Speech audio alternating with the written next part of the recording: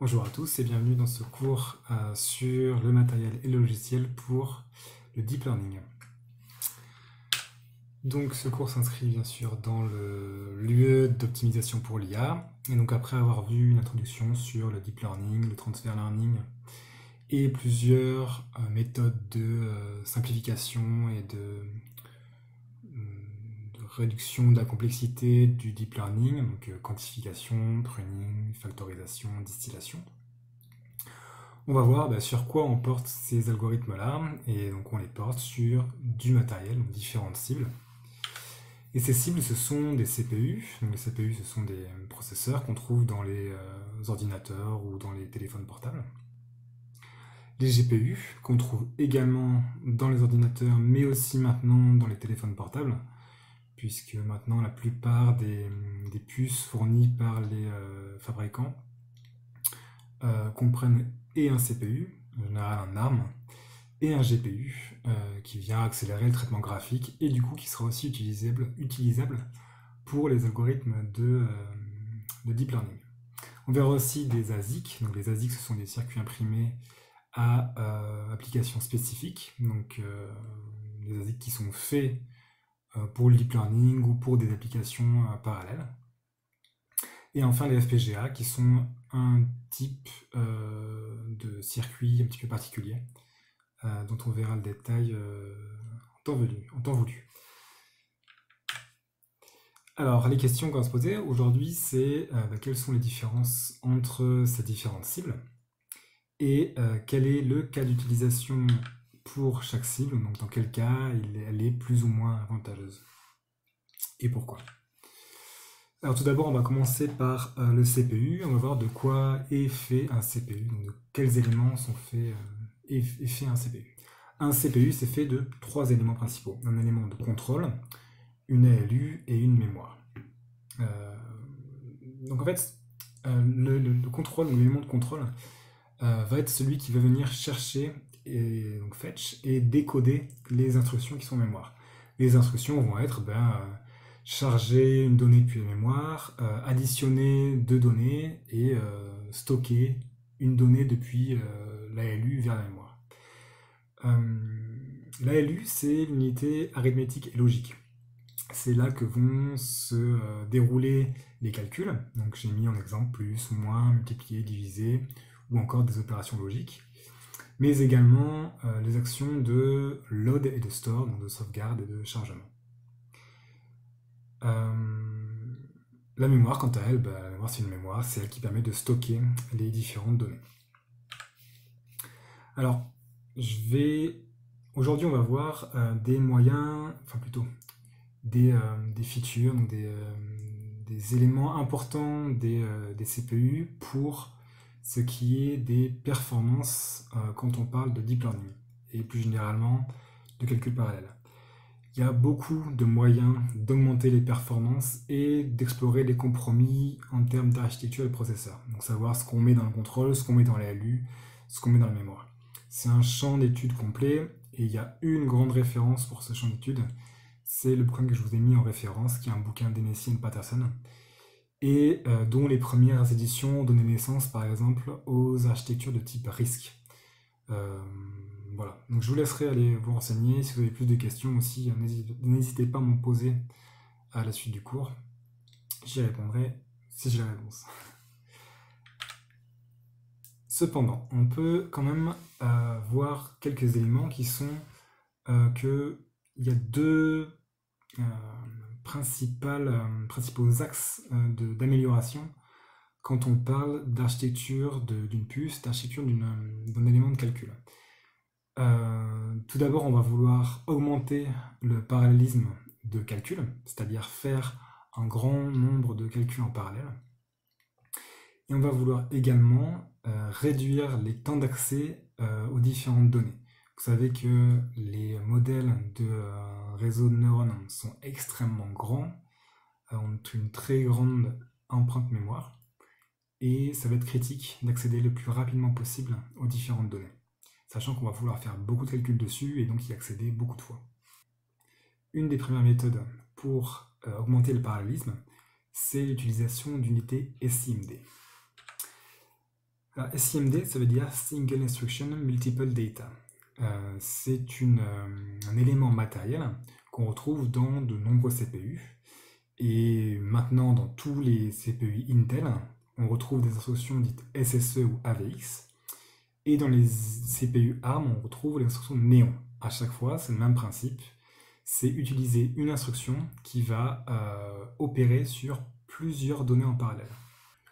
Dans une ALU, on retrouve un register file. Donc c'est une suite, une, file de registres. Et les registres, ce sont les petits éléments de mémoire sur lesquels on va euh, venir opérer. Euh, donc pour faire une euh, multiplication, par exemple, ben, il faut que les données soient dans la file de registres. Donc si on veut par exemple faire un multiply accumulate, donc multiplication et accumulation, il va falloir bah, d'abord charger des données depuis la mémoire jusqu'au register file. Donc la première instruction que j'ai mise ici en illustration, c'est un load depuis l'adresse 0 de la mémoire vers le registre numéro 1. Ensuite, on a une deuxième instruction qui est le chargement de la mémoire à l'adresse 1 vers le registre 2. L'instruction suivante, c'est une multiplication. Donc on va multiplier R1 et R2 et stocker le résultat dans R3 et l'accumulation qui est par exemple ajouter les contenus de R3 et R4 et les stocker dans R5. Et on pourrait après imaginer stocker le résultat avec un store depuis le registre file, depuis la file de registre pardon, jusqu'à la mémoire.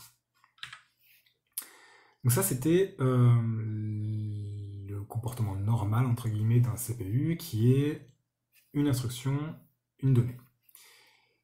Le SIMD, c'est au contraire utiliser une instruction pour traiter plusieurs données en parallèle. Donc ici, j'ai mis un niveau de parallélisme de 4, et on voit que mon premier chargement, le VLOAD pour Vectorial Load, va charger 4 données en parallèle, depuis la mémoire vers la file de registre. La deuxième instruction équivalente à tout à l'heure, c'est aussi un chargement en parallèle, dans le registre vectoriel numéro 2, et on voit qu'en une instruction, ensuite, on va traiter quatre données en parallèle, ou plutôt quatre jeux de données en parallèle, qu'on va stocker dans le registre vectoriel 3. Et on va accumuler ensuite euh, les registres vectoriels 3 et 4 et les données dans 5.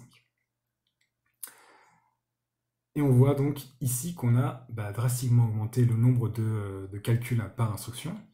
Euh, on a multiplié par 4 le nombre de calculs. Alors attention, cependant, on voit qu'on augmente le parallélisme. Donc on se dit, on va faire 4 fois plus d'opérations, on va multiplier par 4 le débit, diminuer par 4 la latence. Euh, alors oui, c'est vrai, euh, sachant qu'en plus, si on réduit, euh, si on quantifie, c'est-à-dire qu'on réduit la taille de chaque donnée, et eh bien potentiellement on va pouvoir augmenter encore le parallélisme. donc par exemple, si on prend les, les, instructions, le jeu d'instruction AVX2 qui est sur tous les, euh, quasiment tous maintenant les, CPU Intel, ce sont des registres de 256 bits. Donc si on stocke les données sur 64 bits, on va avoir, bah, comme j'ai mis ici, un niveau de parallélisme de 4. Cependant, si on quantifie, quand on représente chaque poids, par exemple chaque poids et chaque activation sur 8 bits, eh bien on va avoir un parallélisme de 256 divisé par 8, ce qui fait 250 divisé par 8, ce qui fait ce qui fait 32, voilà, ce qui fait 32 euh, opérations en parallèle. On va pouvoir euh, potentiellement faire 32 multiplications, 32 additions, 32 euh, chargements en parallèle. Le problème avec ça, c'est que par contre, il faut absolument que les données qu'on veut multiplier entre elles et additionner entre elles soient alignées. Et souvent, ce n'est pas le cas. Souvent, on va avoir des données non alignées, des, et du coup des, opérations supplémentaires à faire pour réorganiser, réaligner les données et euh, permettre de faire ces opérations. Donc l'augmentation des performances n'est pas linéaire. C'est pas parce qu'on a un parallélisme de 4, comme ici, qu'on va multiplier par 4 euh, les performances de notre programme. De plus, tout n'est pas parallélisable. Par exemple, les branchements dans un programme, donc les if, les while, sont des choses qui ne sont pas parallélisables. C'est des décisions qu'on prend, et puis on fait soit une partie du programme, soit une, autre partie du programme, mais c'est pas une chose qu'on peut paralléliser. Donc ne pas surestimer non plus les capacités de, euh, des SIMD. La deuxième chose euh, qu'on va aborder ici, c'est euh, la hiérarchie de la mémoire. L'idée ici, c'est que accéder à une mémoire DRAM, qui est une puce extérieure au CPU lui-même, c'est très long. On va le voir après. Donc ce qu'on fait, c'est qu'on organise euh, la mémoire de notre CPU et la mémoire extérieure euh, sous la forme d'une hiérarchie de cache. La mémoire cache, c'est une mémoire qui est locale au CPU, c'est-à-dire qu'elle est sur la puce elle-même. D'accord? Ce sont une seule puce, donc quand vous voyez euh, les images de d'un CPU, donc avec les, les branchements, le petit carré qu'on branche et sur lequel on vient mettre un ventilateur, dans ce petit carré-là, il y a le CPU, d'accord? Mais il y a aussi toute la mémoire cache autour. Et cette mémoire cache, elle est sur la même puce. C'est pour ça que les temps d'accès vont être très, euh, très faibles. Et à l'extérieur, traditionnellement, on a euh, la mémoire principale, donc main memory ici sur le schéma. Et ce qui, ce qui arrive, c'est que non seulement euh, la mémoire qui est sur, le, sur la puce du CPU est plus rapide, parce qu'elle est plus proche, mais elle est plus rapide parce que ce n'est pas le même type de mémoire. On verra après pourquoi la SRAM, donc la static RAM, est plus rapide que la DRAM. donc, les vitesses, euh, c'est classiquement 1.5 nanosecondes pour euh, la SRAM, 3 euh, nanosecondes, 13 nanosecondes suivant les niveaux de cache. Et donc pareil, toujours un problème de répartition, c'est-à-dire qu'on va faire 3 niveaux de cache, et plus la cache est proche du processeur, plus elle est rapide. Plus elle est loin du processeur, plus elle est lente. Donc on voit 1.5 nanosecondes, 3 nanosecondes, 13 nanosecondes. Et on va voir ensuite la DRAM qui elle est extérieure à la puce processeur. Et je ne sais pas si vous voyez dans les CPU, mais ce sont vraiment des barrettes. Donc c'est des barrettes de RAM qui sont sur la carte mère. Vous avez euh, d'un côté vous avez le CPU et vous avez quelque part ailleurs sur les cartes mères des barrettes de RAM. Donc les barrettes de RAM, ce qu'on appelle RAM, c'est la DRAM en fait, la dynamic RAM, euh, à l'extérieur du CPU.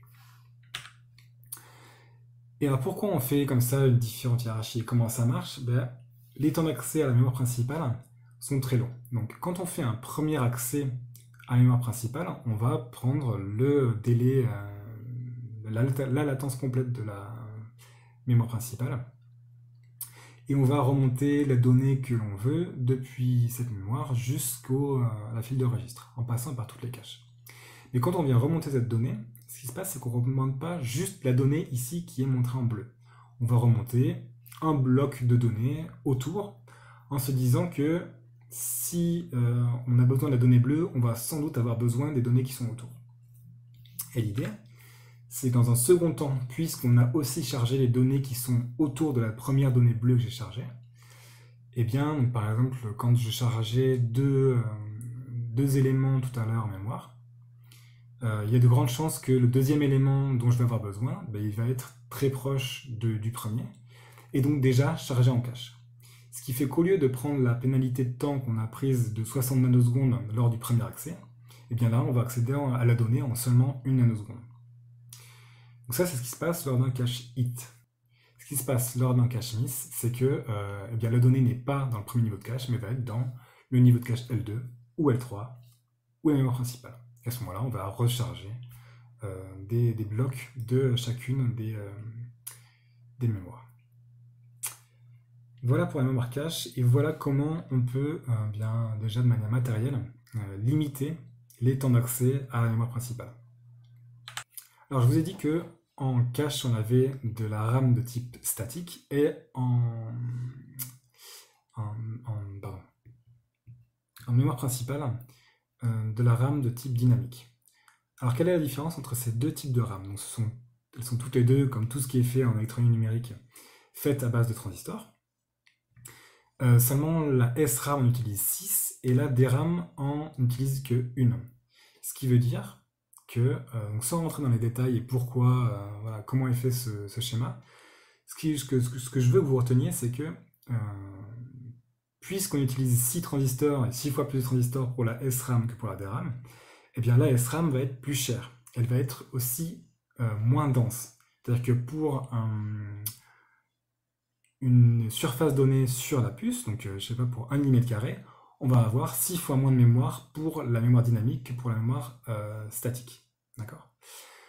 Une autre chose à savoir, c'est que euh, un des désavantages de la mémoire dynamique par rapport à la mémoire statique, c'est le fait qu'elle a besoin d'être rafraîchie. C'est-à-dire qu'en permanence, on a un système qui va venir rafraîchir le bit. Si on ne fait pas ça, on perd l'information.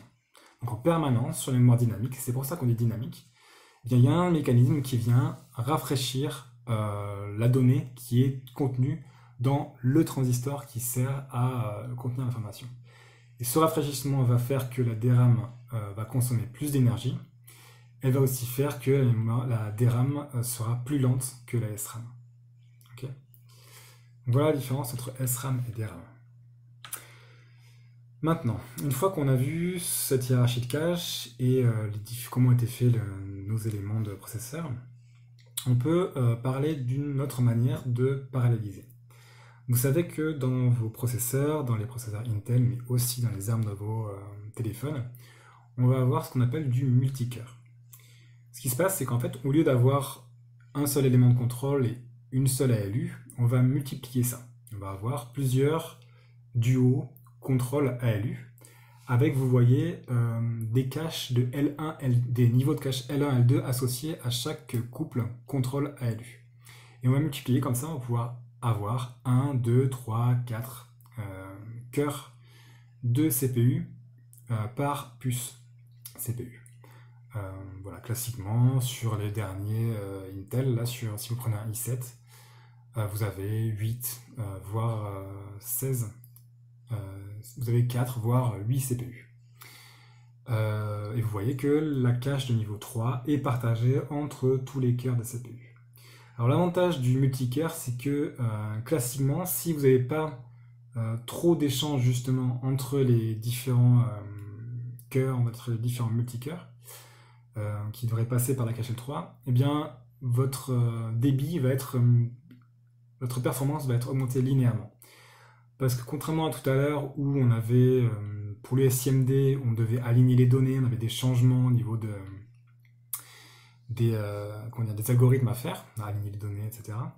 Là, quand on multiplie le nombre de cœurs, dans beaucoup de cas, on va euh, augmenter linéairement la performance. C'est-à-dire que si vous aviez 100 mégabits par seconde avec euh, un cœur de CPU, en ajoutant un cœur, vous allez avoir 200 mégabits par seconde. Encore une fois, à condition qu'il n'y ait pas trop d'échanges à faire entre deux cœurs de CPU, donc que les différents calculs que l'on fait soient relativement indépendants.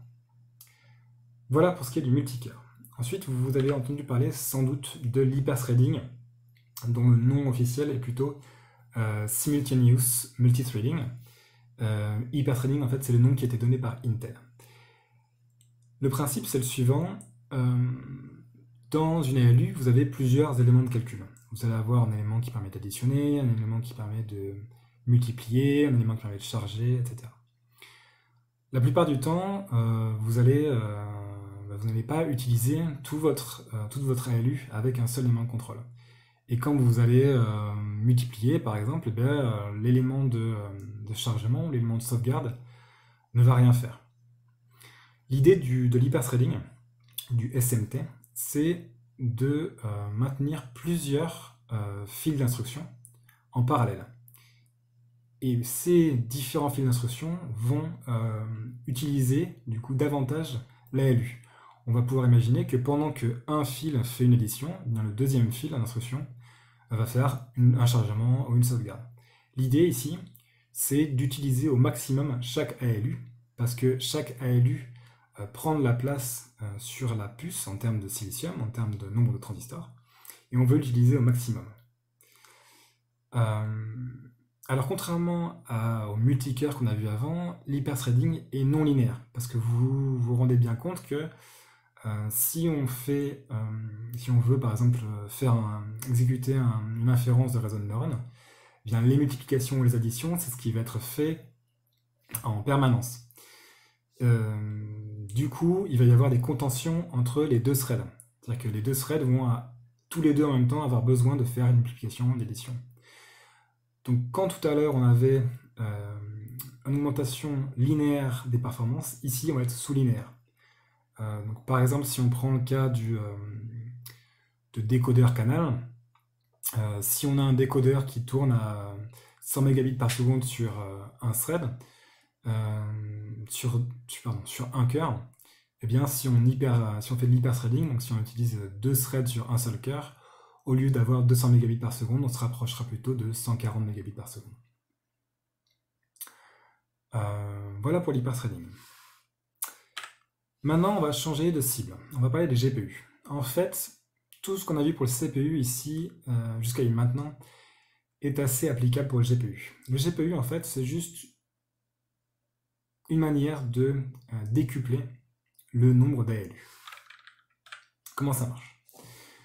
Euh, En fait, ce qui se passe, c'est que on va avoir, comme je vous l'ai dit, voilà, beaucoup, beaucoup d'éléments de calcul, donc l'équivalent de nos ALU dans les CPU, avec du contrôle qui va être réduit. Les éléments de contrôle dans les CPU Intel, les CPU ARM sont très complexes on a la prédiction de branchement, on a euh, euh, des éléments pour faire du out of context, c'est-à-dire que euh, le CPU va réorganiser dynamiquement les instructions qui, sont, qui lui sont amenées. On va avoir beaucoup de choses qui permettent bien d'augmenter beaucoup les performances pour une tâche donnée et de diminuer par exemple la latence d'une tâche, reconnaître du, texte, faire des tâches assez complexes. Or, ce qu'on fait nous, en termes de. Ce, fait nous, ce que font plutôt les GPU en termes de traitement graphique ou même pour faire des réseaux de neurones, en fait, au niveau, au niveau contrôle, c'est beaucoup moins compliqué que chercher une chaîne de caractères dans un texte, par exemple. Et c'est pour ça qu'on va simplifier le contrôle dans les CPU, dans les GPU, pardon. Et on va avoir euh, plusieurs cœurs. Chacun des cœurs euh, du GPU propose un parallélisme énorme, 32, 64. Et le nombre de cœurs est aussi décuplé. Alors, euh, ce qui se passe en fait quand on va euh, lancer par exemple 10 000 threads sur un cœur euh, NVIDIA, sur un GPU NVIDIA, c'est que chaque cœur va exécuter des, warps. Et les warps, c'est des ensembles de threads. Et donc on va avoir un nombre de threads monstrueux qui va être euh, tourné en même temps sur un GPU. Pourquoi les GPU sont idéaux pour faire du, euh, du deep learning à très haut débit C'est exactement ce que je vous ai dit, c'est-à-dire qu'on a a des algorithmes qui sont très simples en manière de contrôle. C'est-à-dire qu'on va toujours faire la même chose, on va toujours faire des convolutions. Et des convolutions, c'est quoi? C'est faire des multiplications et des additions sur des données qui en plus sont régulières. C'est-à-dire que le pas auquel on va venir euh, visiter chacune des données va être très stable et très structuré. Et ça, c'est idéal pour les GPU. Et pourquoi les GPU sont, bons pour ça? Ben, C'est parce que quand on fait du traitement graphique, on fait exactement la même chose. C'est-à-dire qu'on va avoir euh, un tableau avec euh, beaucoup d'informations et à chaque fois, on va vouloir faire les mêmes traitements, l'anti-aliasing, les différents rendus, euh, appliquer les textures, etc. Ça, ce sont des choses qui sont parallèles, où il y a besoin de très peu de contrôle et on a juste besoin de le faire énormément de fois, puisqu'on va avoir 1900 x 1080 pixels à traiter. Donc voilà pourquoi le parallèle entre les réseaux convolutionnels et le traitement graphique qui est fait classiquement sur les GPU fait que les GPU sont euh, idéaux pour euh, faire du traitement de, de deep learning. Alors classiquement, un GPU, ça va produire un très bon débit, par contre, euh, les latences pour beaucoup d'applications ne sont pas géniales. Et c'est le cas aussi pour le deep learning. Parce qu'en fait, si on veut faire tout ce euh, parallélisme, ça impose en fait de saturer notre GPU de beaucoup beaucoup de threads qu'il va falloir charger en mémoire. Charger également les données dont on a besoin en mémoire, donc tout charger en parallèle, et ensuite faire massivement le, le, traitement. donc quand on arrive à faire voilà, à donner beaucoup de batch de réseaux de neurones très grands. Ça va marcher très bien en termes de débit. Par contre, pour faire l'inférence très rapide de un seul euh, élément, si on veut par exemple être dans une voiture et reconnaître un piéton, euh, bah, le GPU va va pas être forcément euh, efficace parce qu'il n'est pas dit qu'on arrive à utiliser tout, toutes les ressources de GPU. Tandis que le CPU, dont je parlais, qui a un contrôle beaucoup plus avancé, beaucoup plus fin, eh bien, va, pour une tâche donnée, pour un traitement à faire très rapidement, va peut-être pouvoir proposer de meilleures latences. En tout cas, pour beaucoup d'applications, c'est le cas. On a vu les CPU, on a vu les GPU, maintenant on va parler des ASIC. Alors ASIC, ça veut dire circuit intégré euh, pour une application spécifique. Et donc il y en a beaucoup euh, d'ASIC qui sont disponibles pour faire du deep learning. On va pas tous les voir. Euh, ce que je vous propose, c'est de parler de l'IPU, mais en fait, on va voir que je vais, vous le dire d'ailleurs maintenant tout de suite. Toutes ces solutions se ressemblent beaucoup. En fait, c'est basé sur ce qu'on appelle du many-core. Le many-core, c'est une autre manière de euh, paralléliser intensivement les calculs. Alors, ça s'organise un petit peu différemment du, euh, du GPU. Donc, GPU, on a vu qu'on avait des cœurs qui faisaient chacun des traitements très parallèles avec ce qui était SIMT. Ici, on va avoir aussi euh, du traitement parallèle, mais un peu moins, euh, un peu moins gros. Euh, par contre, on va augmenter un petit peu les capacités de contrôle et la versatilité des, des, différents éléments, des différents cœurs. donc l'idée pour l'IPU, par exemple, c'est que chaque cœur va pouvoir traiter 6 threads indépendants. Là, je parle de vrais 6 threads. Dans les SIMT, je vous ai dit, en fait, les threads euh, doivent être doivent exécuter toutes, tous les mêmes instructions. S'ils n'exécutent pas les mêmes instructions, on ne peut pas faire un warp avec 32 euh, threads.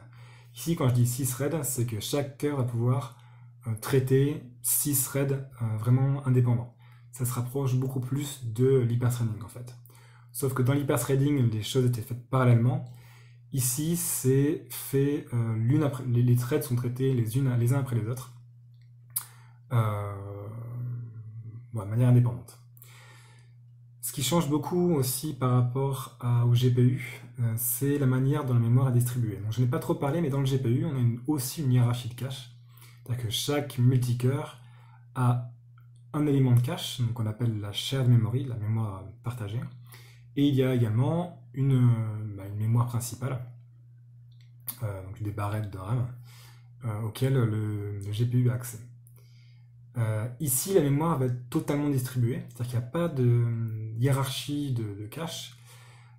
chaque élément de cache est relié l'un avec l'autre. Ce qui va permettre de pouvoir passer de n'importe quel cœur à n'importe quel cœur. Or, dans le deep learning, l'accès aux données au bon moment, c'est quelque chose de capital. Pourquoi? Parce qu'on l'a vu, les réseaux sont énormes. On parle de 4 millions, 16 millions, 11 millions de données pour les différents réseaux, ce qui est monstrueux. Ça fait euh, des ordres de grandeur de euh, voilà, des mégaoctets, 10, 100 mégaoctets pour... Euh, ça fait des ordres de grandeur de voilà, quelques gigaoctets pour différents réseaux. Euh, et c'est pour ça que euh, l'IPU, par exemple, est très efficace. Euh, donc l'IPU GraphCore, il revendique avoir meilleure efficacité, c'est-à-dire qu'en nombre de dollars dépensés par milliard d'opérations, il dit être bien meilleur que les GPU, et en termes de consommation énergétique également il revendique aussi le fait d'être beaucoup plus rapide en inférence grâce à cette mémoire distribuée. Alors attention cependant, euh, IPU c'est assez récent et j'ai pas réussi à trouver d'études indépendantes qui euh, comparent GPU et IPU. Donc ce que, ce que dit GraphCore, GraphCore qui est le fabricant d'IPU. Euh, quand on voit ce qui se passe avec les TPU, donc TPU c'est Tensor Processing Unit, TensorFlow Processing Unit, c'est quelque chose qui est euh, propriétaire de Google, ou plutôt dont Google est propriétaire. Et euh, voilà, longtemps, ils ont dit être meilleurs. En fait, avec la nouvelle génération de cartes Nvidia, on se rend compte que euh, bah, c'est pas forcément si avantageux que ça d'utiliser des TPU par rapport à utiliser des GPU. Donc à voir. Euh, ok, donc on a parlé CPU, on a parlé GPU, maintenant on va parler FPGA. En fait, l'FPGA, ce sont des, puces assez, euh, atypique par rapport à tout ce qu'on a vu avant. Ce sont des puces qui sont configurables. C'est-à-dire qu'avant, on a vu des architectures de CPU, des architectures de GPU qui sont bien figées, puisqu'on va fondre une puce et ça ne bougera pas. Ici, en fait, on parle de puces reconfigurables, dans le sens où les blocs violets, ici, vous voyez, sont en fait des blocs de logique programmables. Et ces blocs de logique programmables, on va pouvoir les utiliser pour eh bien, faire au choix du contrôle, euh, des éléments de calcul, euh, plutôt des multiplications, plutôt des additions, ou plutôt euh, ce qu'on veut. et on a aussi des blocs DSP, donc eux qui sont dédiés pour faire des multiplications. On a également des multiplications des MAC, donc des multiplications-additions, et on a également des blocs de mémoire. Tous ces éléments-là sont reliés avec des blocs d'interconnexion qui sont eux aussi euh, configurables.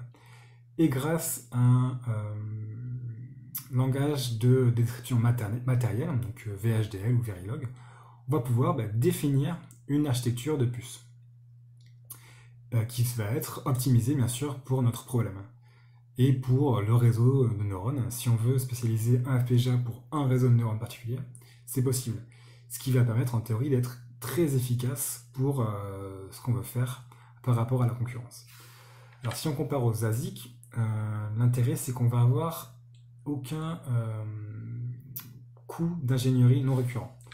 Alors c'est quoi le coût d'ingénierie non récurrent? C'est le fait que si on veut fondre en ASIC, ça va coûter très très cher. Parce que ben, il va falloir contacter un fondeur et utiliser leur fonderie, et les fonderies c'est extrêmement cher de plus développer les masques, en fait, pour quand on fond une puce, ce qui permet de, bah, fondre la puce et de faire euh, qu'elle fasse ce qu'on veut, c'est-à-dire de dessiner les transistors sur la puce, sont les masques. Créer un masque, ça coûte extrêmement cher, c'est euh, l'ordre de grandeur de centaines de milliers, voire de millions de dollars. Donc quand on veut faire un ASIC, si on veut faire un TPU, si on veut faire un IPU euh, à notre sauce, ça va coûter extrêmement cher. Et donc, tant qu'on n'a pas un marché extrêmement grand, c'est-à-dire de l'ordre de grandeur d'un million de puces, eh bien, coûter, euh, fabriquer des ASIC, ça va être très très cher, beaucoup trop cher pour euh, la plupart des entreprises. Donc, le FPGA vient se placer sur ce marché-là euh, du prototypage et des petits marchés. Alors maintenant, les différents cas d'utilisation. Donc d'abord, si on parle d'utilisation à distance, c'est-à-dire que nous on parle de ici d'utilisation d'embarqué, mais en embarqué, on va pouvoir, par exemple, le téléphone, il peut très bien accéder à un, euh, serveur distant pour faire de l'inférence. Dans ces cas-là, en fait, c'est qu'on va voir, ce qu'on va voir, c'est du débit, c'est-à-dire que euh, classiquement, si on fait ça à distance, c'est pas pour avoir une très bonne euh, latence côté téléphone, si vous voulez, côté device ce qu'on veut, c'est côté serveur, que chaque serveur puisse gérer un grand nombre de devices qui va lui demander beaucoup, beaucoup, beaucoup d'inférences. Une des choses qu'on va avoir aussi quand on fait euh, l'utilisation à distance, c'est un faible coût. C'est-à-dire qu'on va pouvoir faire avoir ce gros débit au coût le plus bas possible. Et ce qu'on veut aussi, c'est qu'on puisse scaler, donc on puisse avoir bah, de gros data centers ou de gros euh, de, grosses infrastructures pour pouvoir bien utiliser énormément de, de, faire beaucoup d'inférences à la fois ou de l'entraînement aussi. Et là, les cibles idéales, ben, c'est GPU, TPU, IPU qui vont permettre d'avoir des débits énormes. Si on veut faire euh, de l'inférence en local, donc sur votre téléphone, sur votre device euh, ici en main, sur un côté utilisateur, les choses qu'on attend en général de notre cible, c'est bah, qu'elle soit disponible des fois, parce qu'en en fait, ce qu'on a, c'est que les smartphones, par exemple, sont répandus euh, chez tout le monde, tout le monde a un smartphone, et sur chaque smartphone, il n'y a pas d'IPU, il n'y a pas de TPU. Par contre, ce qu'il y a, c'est à chaque fois les CPU et parfois des GPU. Donc, la disponibilité sur les devices est importante. La consommation de puissance va être importante également quand on parle d'Internet des objets. Si on va avoir un objet qui soit euh, euh, indépendant et qui puisse durer, qui ne va pas avoir une batterie euh, morte au bout de, trop peu de temps. ce qui va être important aussi, c'est le coût en termes de bah, coût par unité. Si on va avoir ben, des, équipements qui ne soient pas trop chers. En général, si on se met en local, si on veut faire l'inférence localement, c'est pour avoir une latence faible. le, le, cas d'utilisation classique pour la latence, c'est ce que je vous disais tout à l'heure, qui est la détection d'une personne par une voiture. Donc là, il faut que ce soit extrêmement rapide. Et on va avoir aussi la sécurité des données, la vie privée. Alors les cibles idéales ici, bah, c'est les CPU, comme je vous l'ai dit, parce qu'ils sont disponibles, ils sont là. Après, on a aussi des ASIC qui sont dédiés euh, à ce qu'on appelle la The Edge. Donc c'est ça, c'est euh, euh, en local sur des équipements utilisateurs. Et les FPGA vont aussi pouvoir être intéressants dans certains cas. Alors j'ai parlé essentiellement de matériel, parce qu'en fait, ce qui se passe, c'est que maintenant, il y a deux gros acteurs qui sont PyTorch et TensorFlow, qui en fait euh, trustent tout le marché du, software. Tout le monde fait des réseaux de neurones sur, sur ces deux frameworks-là. Ces frameworks, sont optimisés pour les CPU, pour les GPU. PyTorch et TensorFlow permet d'utiliser les unités SIMD, permet d'utiliser intensivement les GPU. Maintenant, quand on parle de cibles un peu plus euh, exotiques, eh bien, c'est pas forcément porté. Euh, par exemple, les IPU, ils n'ont pas encore PyTorch qui est porté, et donc vous pouvez pas utiliser PyTorch pour faire des IPU. C'est un gros enjeu du côté euh, des fabricants de puces, des fabricants de FPGA, des fabricants de, de proposer des, stacks logiciels, donc des, ensembles de librairies ou d'outils qui permettent de passer justement de, des modèles au niveau aux, euh, différents, euh, différentes cibles euh, plus exotiques. Alors je ne vais pas trop parler de la programmation justement des IPU, TPU, FPGA parce que c'est très particulier et ce ne sera pas très intéressant d'en parler. Par contre je vais parler un petit peu de ce qui se passe et de ce qu'on fait pour optimiser les implémentations CPU et GPU, hormis ce qu'on a déjà vu dans le reste du cours, c'est-à-dire les techniques de simplification des réseaux de neurones, pruning, distillation, etc. Tout d'abord, ce qui se passe en fait, ce qu'on fait en software, euh, ça c'est l'informaticien, l'informaticien il cherche toujours à réutiliser ce qu'on a déjà fait, mais c'est normal en fait, c'est pour ça que ça marche bien. Euh, ce qu'on veut, c'est se ramener à de la multiplication de matrices, parce que la multiplication de matrices, euh, c'est quelque chose qui est très bien maîtrisé, où il y a des librairies hyper optimisées, très bien faites, depuis de longues années, pérennes, euh, portables, etc. Tout ce qu'aime un informaticien. et donc l'idée, c'est que pour faire des convolutions, et les convolutions, c'est 80%, euh, 90%, voire plus, des, calculs dans, dans la réseau de neurones, mais on va vouloir se ramener à des multiplications de matrices. Et il y a une méthode que je vous montre là, qui est avec une matrice de Toeplitz, euh, qui permet bah, de formaliser les convolutions euh, à l'aide de matrices au prix de répéter les données. Ce qui va dire qu'on va augmenter l'utilisation mémoire. Alors ce qui est peut-être sous-optimal, hein. donc ça mériterait quand même de se poser la question de savoir si c'est euh, optimisé ou pas. Apparemment ça l'est puisque c'est ce qui est utilisé par tout le monde. Euh, et donc l'idée, c'est euh, voilà, d'avoir euh, bah, enfin, voilà, une image vaut mille mots.